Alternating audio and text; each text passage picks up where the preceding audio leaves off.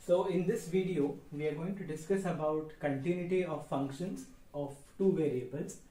So in this video, we are going to discuss four problems. They will be slightly difficult to understand at an initial level, but a practice of such problems will help you to understand how to check the continuity of functions of two variables. So let me start with a very simple problem. So this is f of xy is equal to x cube plus y cube upon x square plus y square when x and y are not 0 and when x and y are 0 0 then I am getting the answer is how much the function has value equal to 0 and I have to check the continuity of this function. So when I see such question what should I do? I should first see that at which point there is a difference of the function. So at the point 0 you see that at the point 0 the function is something different. And whenever the point is not 0 then function is something different. So which is the point that at which you have to discuss the continuity? It essentially remains that you have to basically discuss the continuity at the point 0 0 right? Now what is the definition of a continuous function? Now we all know that for a continuous function at a point if I want a function to be continuous at a point what should happen? The limit of the function so which is nothing but limit f of x y this is limit of the function. At which point are we going to discuss the continuity? We are going to discuss the continuity at point 0 0 so at the limit of the function at 0 0 should be equal to how much? Should be equal to the value of the function. What is the value of the function? At 0 0 the value of the function at 0 0 is given to be 1 Suppose it is 1 year, then what is the value of the function at 0, 0? The value of the function at 0, 0 means f of 0, 0. Okay, this is the value of the function at 0, 0. This, this is equal to how much given to us? This is given to be equal to 0. So we have to prove this, that limit of the function is equal to how much? Is equal to the value of the function. Means it should come out equal to how much? It should come out to be 0. If I can show this, then it means that this function is continuous at which point? It is continuous at the point 0, 0. Now let us try to find the limit of this function at xy tending to 0. And what should be my answer? My answer should be equal to how much? 0. So limit xy tending to 0, 0 of the function f of xy which is x cube plus y cube divided by x square plus y square. So we have to evaluate this limit now. Okay, in our previous lectures, in our previous videos, we have seen that how to evaluate such limits, right? There I have taught you a trick saying that whenever you have x square plus y square in the denominator, it is always suggested to substitute what? You're always supposed to substitute x equal to r cos theta and y equal to r sin theta. We have solved some problems related to the substitution in the previous videos, right? So this means that therefore x square plus y square will become r square and okay and we know that x is also tending to 0 y is also tending to 0 so r also tends to 0 theta we cannot say anything about theta right so we know that r also tends to 0 so this limit gets converted into limit r tending to 0 of the denominator is x square plus y square is just r square. The numerator is x cube means r cube sin cos cube theta plus y cube will become r cube sin cube theta. So I can take a r cube common and what will I left with inside? I will have a cos cube theta plus r cube sin cube theta. So I am taking r cube common, r cube sin cube theta. And this cos cube theta and sin cube theta has nothing to do with the limit. So I will just pull it out of the limit because it has no r. So it has cos cube theta plus sine cube theta. And what am I left in the limit?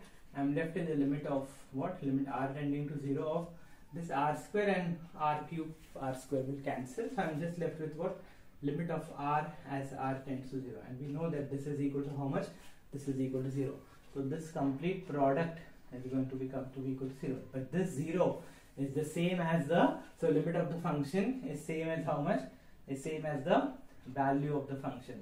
Therefore this function f is continuous at 0 0 okay? Now the next three problems that we are going to discuss they are not going to be as easy as this problem. So let me just recall quickly. Whenever you want to show a function is continuous, try to prove that the limit of the function is equal to how much value of the function. Whatever technique you have with you, try to prove that they are equal. Okay. Now it happens that most of the times functions given to us are discontinuous. Okay, so you just have to think about how am I going to evaluate this limit. If I cannot evaluate this limit, if the limit does not exist, then it will mean that the limit of the function is not equal to the value of the function. In that case, the function will not become continuous. So let's see the next three problems which are somewhat like having discontinuous functions. So let's see them now. So this is the second problem now. Uh, it is f of xy equal to x cube plus y cube upon x minus y when x and y are not equal to 0. And if x and y are equal to 0, then it is equal to 0. So I have to again check the continuity of the function means I have to check limit of the function uh, is it equal to the value of the function this is what I have to check is it equal to f of 0 0 how much is f of 0 0 given to us it is given 0 this limit I must be able to check is it coming to be 0 0 okay now here we know that we cannot put x equal to r cos theta and y equal to r sin theta why because there is no x square plus y square. Okay, that is our standard trick which I have taught in previous classes. So I will not put x equal to r cos theta and x y equal to r sin theta because x square plus y square is missing.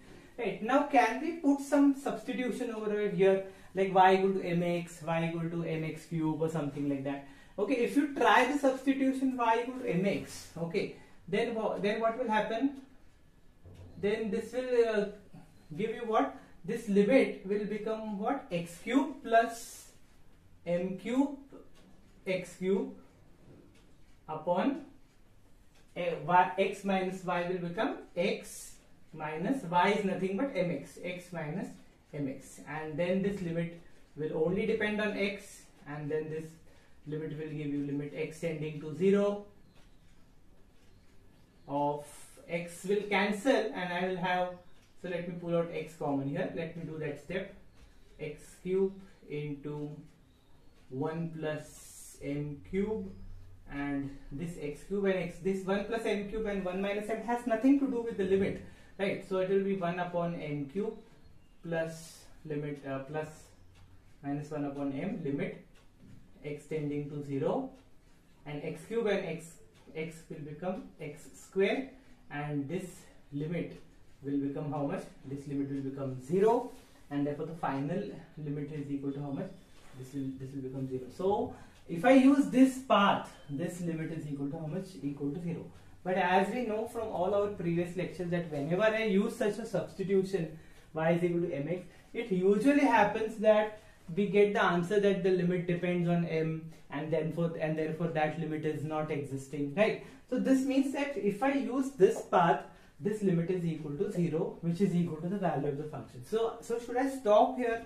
So no, this may not be the correct path. There may be some other path for which this limit will depend on m and it does not exist. Okay.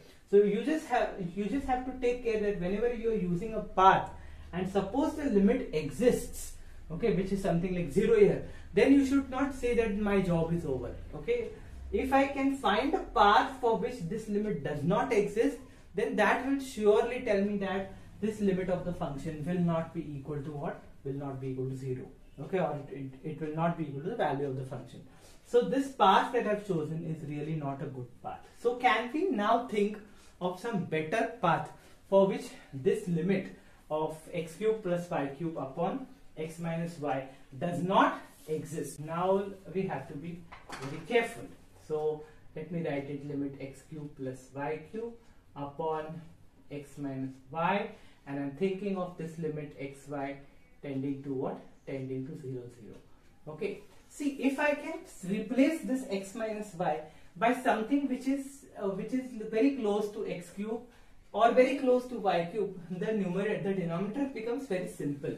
I hope you understand what I'm trying to say. I'm trying to say that limit of whatever I'm not writing here so what is in my mind is I am saying having that just put x minus y is equal to what? Is equal to m x cube. So x minus y will be completely replaced by what?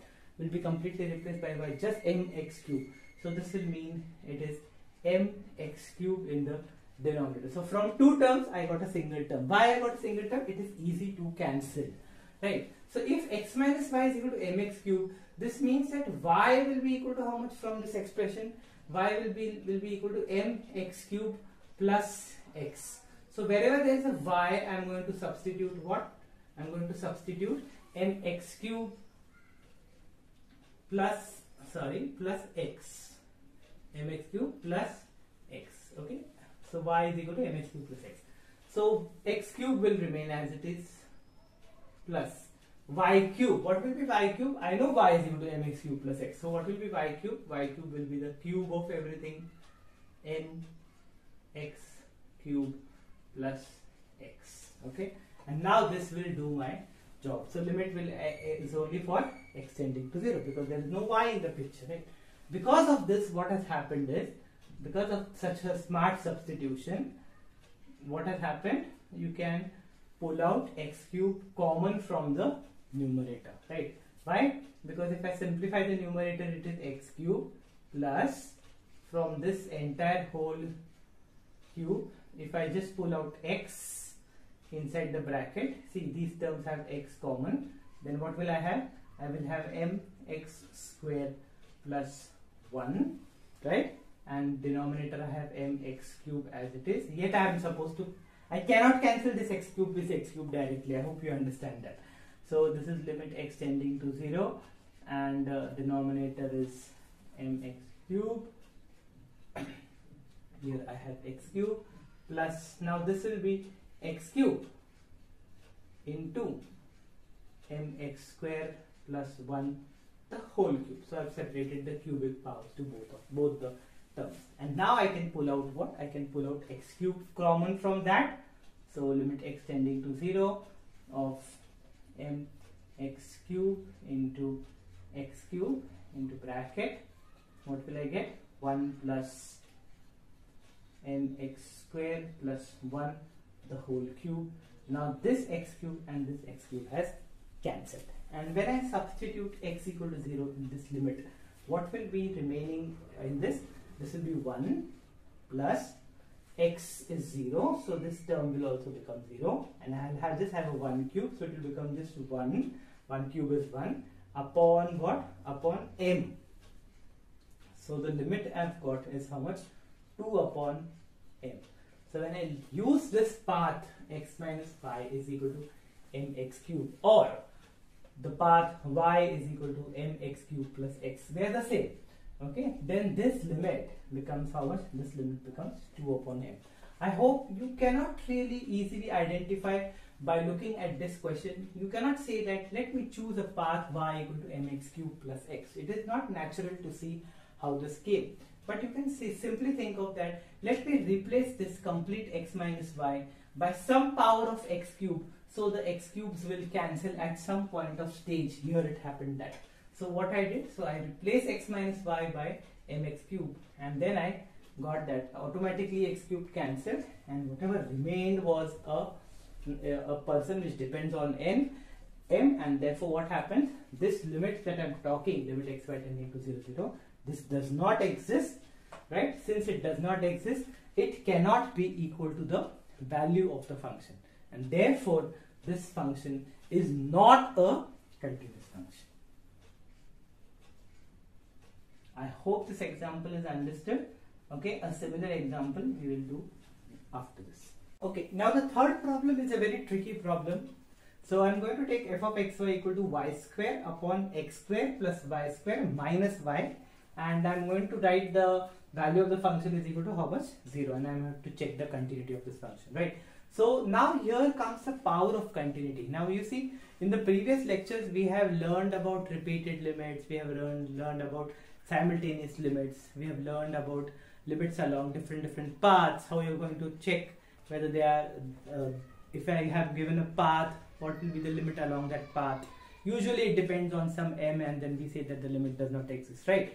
But for a continuous function, now we have, this is a very important thing that is going to come in the picture because of this example. Now what we will do is that we will choose two different paths in this problem and we will show that if I choose one path I will get one answer. If I choose another path I will get a different answer. And then I will say that because these two answers are different okay this function cannot be a continuous function at the point 0 0 so what does continuity ensure us? The continuity ensures us that if i choose any path the answer must be equal to the value of the function okay if it is continuous at 0 0 okay if, if this if this function is continuous at 0 0 if you give me any path which is uh, passing through 0 0 the answer you must get is equal to how much? You must get equal to 0 here what will happen? I will choose two different paths and along one path I will get one different answer, along one path I will get different answer and then we will say that this cannot happen in the case of continuity, right? So how will I choose those two different paths is by looking at the denominator. You see denominator is always a problematic person, right? So this denominator x square plus y square minus y, I can group into two different parts, okay? I can, first I will say, okay fine, I will take what? I will say if x square plus y square and next part I will con concentrate is what? I will concentrate on x cube minus y, okay?